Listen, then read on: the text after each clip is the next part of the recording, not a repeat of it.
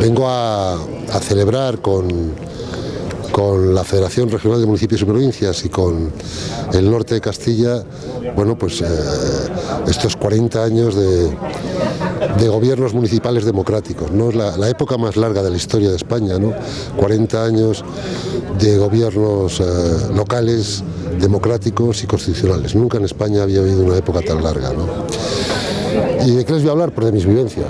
Es decir, eh, va a haber primero un coloquio y yo voy a clausurar y voy a hablar de mis vivencias. ¿no? Yo entonces militaba en la UCD, en abril del año 79 yo militaba en la UCD, hice la campaña con eh, UCD en Madrid, eh, trabajé en la campaña al ayuntamiento, perdimos, por pocos, ganamos en porcentaje por pocas décimas, pero perdimos porque al final, aunque empatamos con el PSOE, eh, con Tierno Galván, eh, el candidato del Partido Comunista, Ramón Tabame, sacó nueve concejales y perdimos. Y de eso voy a hablar y de los cambios que ha habido, ¿no? porque ha habido, ha habido cambios curiosos ¿no? en, estos, en estos 40 años. Eh, entonces, no se hablaba de primarias, no había primarias, ahora tampoco. Entonces, entonces hablaba poco de, España, más bien se ocultaba el término España y se ocultaba la bandera española.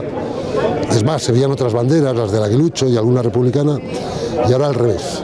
Ahora yo creo que se manosea demasiado el término España y se manosea, todos envuelven en la bandera española, constitucional. Y que es bueno, ¿no? Pero hombre, que no nos la quieran robar, porque parece que es de alguno solo, ¿no? Em, entonces, en UCD, yo recuerdo las sensaciones de UCD, ¿no?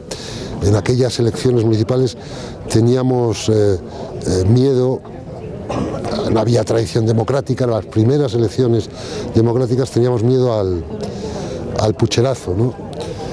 Bueno, ahora hemos visto que también hay pucherazos, o sea que eso no ha cambiado demasiado, ¿no? No había Twitter, se cuidaba más eh, la labor con los medios de comunicación clásicos. ¿no? Ahora vemos que algunos pueden ganar incluso las elecciones eh, de Estados Unidos solo con las redes y en contra de los grandes periódicos clásicos o medios de comunicación clásicos. ¿no?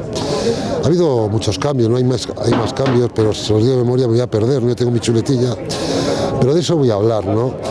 de, esas cosas que entonces se vivieron y que ahora han cambiado. Pero lo más importante, entonces aprendimos lo que era la libertad individual, eh, pudimos ejercer por primera vez esa herramienta que nos da la Constitución, que es el derecho a elegir.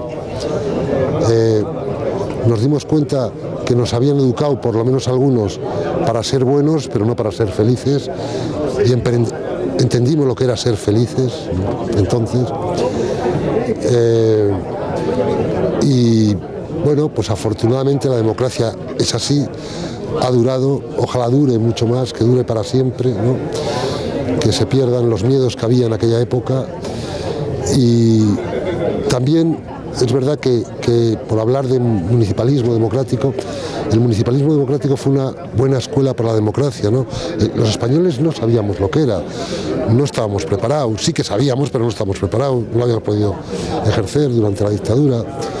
Y entonces sí que aprendí, sí que los, los, gobiernos municipales democráticos fue una buena escuela para los ciudadanos, porque entendimos no solo lo que era eh, elegir mediante el voto, sino entendimos que la democracia era mucho más, era era participar con el gobierno, en este caso municipal, colaborar, eh, eh, implicarse, o sea, no solo votar cada cuatro años, sino la democracia era mucho más.